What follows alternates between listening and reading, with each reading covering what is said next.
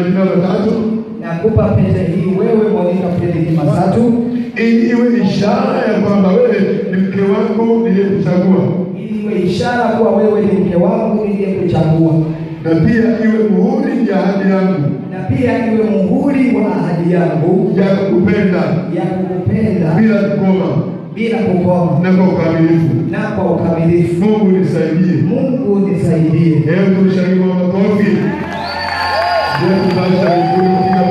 Kwa. Amen. Safi kabisa.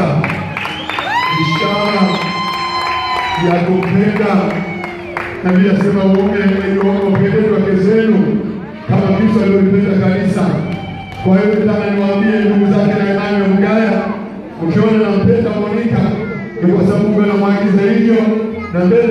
ameahidi kwamba hawa ni mtu na mke wake alichoganisha Mungu.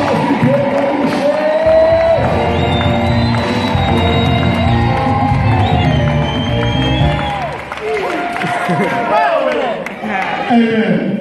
Amen. Basi wakati wanaenda kusaini vyeti vya ndoa